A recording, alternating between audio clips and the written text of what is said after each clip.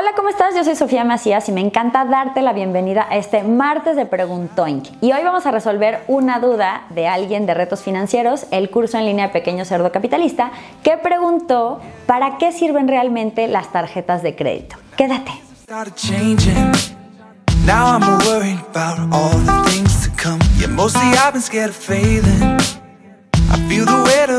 De comenzar, te quiero recomendar que si quieres arreglar tu relajito financiero, te suscribas al canal y actives la campanita para que te llegue una notificación cada vez que tengamos un nuevo contenido útil para ti. Este tema de las tarjetas de crédito, pues obviamente a muchos les asusta porque dice, ok, si no las tenemos que usar como una extensión de nuestros ingresos, no debemos de pagar solo el mínimo y debemos de tener mucho cuidado con no financiarnos con ellas, de estar dejando saldos pendientes. ¿Para qué sirven realmente?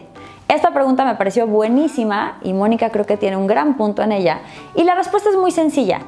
Bien, bien, bien usada, una tarjeta de crédito es una herramienta excelente para mejorar tu flujo de efectivo. Es decir, en lugar de que cuando tienes que hacer una compra que a lo mejor es importante o un pago esté súper apretado porque a lo mejor son los últimos días de quincena, etcétera, y tú tengas que, que pagarlo con el dinero que tienes disponible, con tu cuenta de débito, con tu nómina, etcétera, bueno, con la tarjeta de crédito lo que puedes hacer es, si esta compra sucede justo después de tu corte, digamos que te quieres ir a un viaje o que tienes que pagar algo importante para tu casa, entonces tendrías 40 días de financiamiento gratuito. ¿Esto cómo sucede? Del día siguiente a tu fecha de corte al siguiente corte hay alrededor de 30 días y tienes además 20 días para pagar. Yo la verdad es que te digo que cuentes como 15 porque entre los días que son festivos se te olvidó etcétera, luego te puedes andar endeudando, pero prácticamente si trabajas estos son tres quincenas para liquidar eso que compraste justo pasando tu corte. Entonces es financiamiento gratis, vas a pagar cero intereses si pagas todo. Adicionalmente, para ciertas cosas te puede convenir el tema de meses sin intereses que te permite comprar algo que de contado puede ser grande y dividirlo en mensualidades sin que esto te genere un cargo adicional. Obviamente ya hemos hablado mucho en videos anteriores que pueden ver por acá, que no abusen porque entonces se puede volver una renta.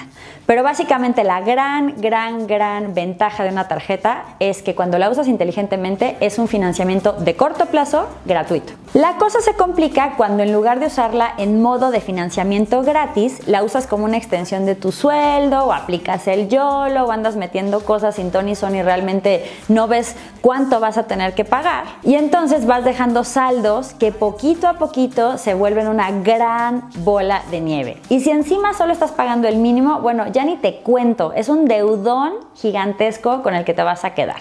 Por eso, la clave para usar bien tu tarjeta de crédito y para lo que realmente sirve es primero no creer que es una extensión de tus ingresos, nunca pagar solo el mínimo, o sea, la idea es que seas totalero, pero si no puedes ser totalero, por lo menos tres o cuatro veces el mínimo y aprenderte mejor que el cumpleaños del galán o la galana tu fecha de corte y tu fecha de pago para ir manejando tus compras y cuándo tienes que liquidarlas. Espero que este video haya resuelto tu duda, Mónica, y si alguien de ustedes tiene alguna otra duda de tarjetas de crédito o de cualquier tema de finanzas personales, déjenla en los comentarios y la podemos agregar al próximo Preguntoink.